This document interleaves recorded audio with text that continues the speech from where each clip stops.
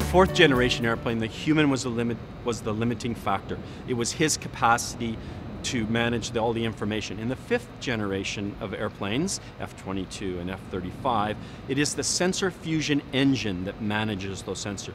It's fusion that decides where the priority should be on the sensors, what's the most important information, and how to synthesize that and present it in a cohesive, simple fashion to the pilot. It means it ultimately that we will get dramatically more information presented to the pilot in a significantly simpler fashion. So more information, easier to understand and manage for the pilot. It means that he's more lethal than he ever was in the fourth generation airplanes.